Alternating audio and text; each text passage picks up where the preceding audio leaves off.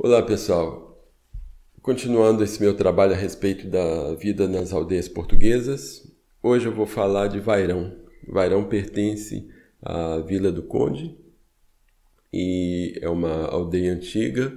Não há uma data precisa de quando surgiu essa aldeia, mas existem documentos que datam. Né, existe um documento que data do ano de 907 no século X sobre essa região.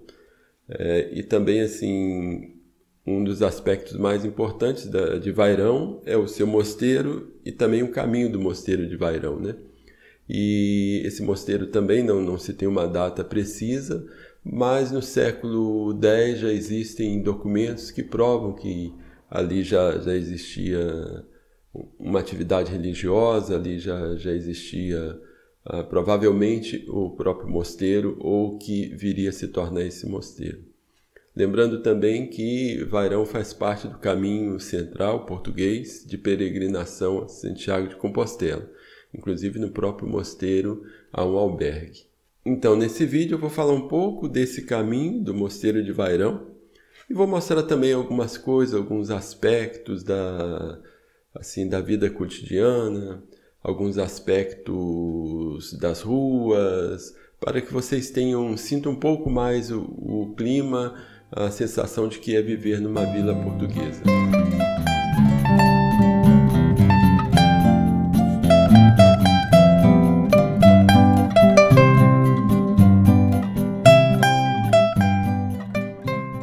Bom, então na nossa caminhada, é, hoje eu vou falar um pouquinho, alguns aspectos do, da rota do mosteiro de Vairão.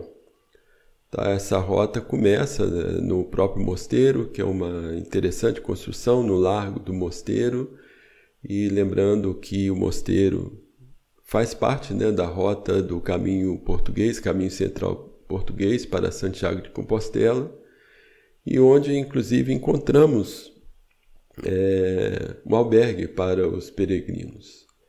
Então essa rota começa aqui, nesse mosteiro. É, logo em frente ao mosteiro, nós vamos ver uma, uma igreja, né, uma capela, chamada Capela Nossa Senhora da Lapa, que é uma construção de 1726, né, portanto do século XVIII. Lembrando que, a, que as construções nessa região são bem antigas, e ao longo de, desse percurso vamos ver aspectos muito interessantes assim. Então é só uma visão assim mais geral mesmo para quem quer conhecer, quer saber um pouco dessa rota do Mosteiro de Vairão. A construção, uma construção importante de, dessa rota é a Capela de Santo Ovídio, que já é uma construção mais recente, né, de 1916 ela fica sobre o castro do boi. Geralmente essas regiões que nós chamamos de castro são regiões onde se encontram vestígios arqueológicos é, do período romano ou pré-romano. Então essas regiões são chamadas de castro. E essa região aqui é chamada de Castro do Boi, onde foi construída a capela mais recente de Santo Ovídio, do século é, 20. Ela foi construída em cima de, de uma construção mais antiga. É, também nós temos a capela de Senhor do Calvário, é, embora ela fique num lugar de difícil acesso, mas é uma construção interessante, do século XVIII, de 1758. Nós temos também a igreja Nossa Senhora da Glória, do século XVIII. Então, como vocês podem ver, são construções bem antigas, né, de, de que remontam a, a, a, séculos passados e que realmente é muito interessante.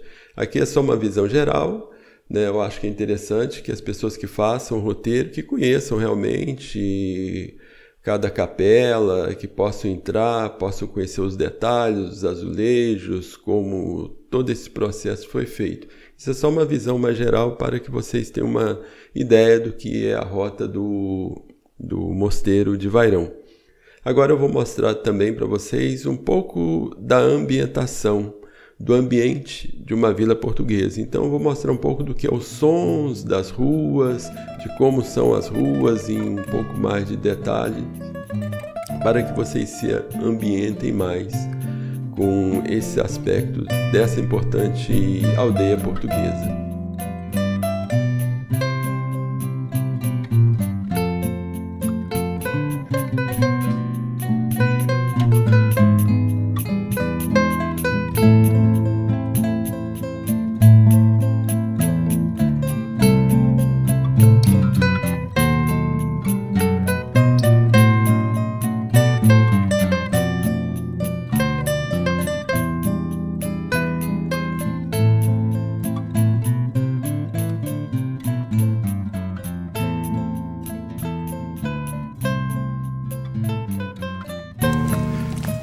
Também é interessante mostrar aqui eu estou na Travessa dos Arcos. Esse tipo de rua que é muito comum nas é, aldeias portuguesas. São ruas que praticamente só cabe um carro, muito estreitas. E esse é o som, o ambiente. É, esse é o movimento que se tem né, nas aldeias. Isso porque estamos no outono, né, ainda Hoje é um dia que está até com bastante sol. Né? Aqui uma outra rua. Mas aqui essa outra rua com os arcos, com o aqueduto né, lá do, do, do, dos fundos. E o movimento é esse. Isso aqui é, você vai encontrar muitas ruas assim muitas ruas desse tamanho, assim, né, dessa largura, e com ninguém na rua, praticamente. Essa aqui é uma pequena praça, mais próxima ao mosteiro, né? E como vocês podem ver, não tem movimento, não tem absolutamente ninguém nas ruas.